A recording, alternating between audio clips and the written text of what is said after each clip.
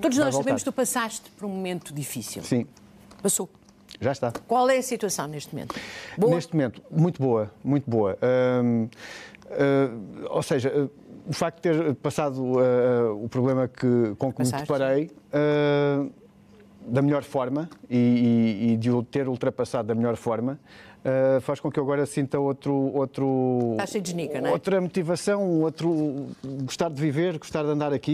Isto foi mesmo ultrapassar aquela aquele maior desafio que me apareceu uh, e está ultrapassado. Portanto, agora tenho muita vontade de viver, de- de- de fazer coisas novas, repetir coisas que gostava uh, e, e- cada vez uh, tudo tem mais valor.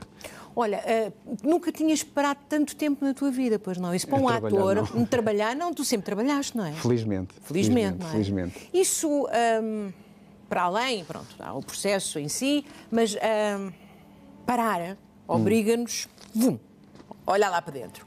O que é que viste? Sim. Hum, vi um. Viste um homem realizado ou viste um homem ainda com muitas coisas para fazer? Vi, vi os dois.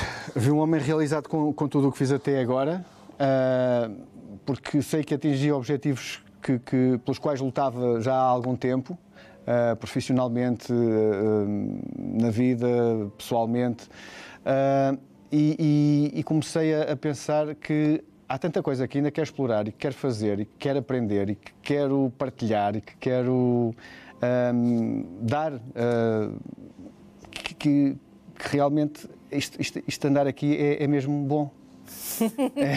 Às vezes não valorizamos muito. Não, não, não.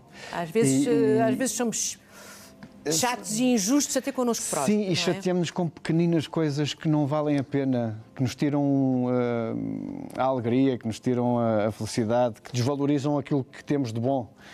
Ah, e, e acho que nesse sentido ganhei outra, outra, outra perspectiva perante a vida.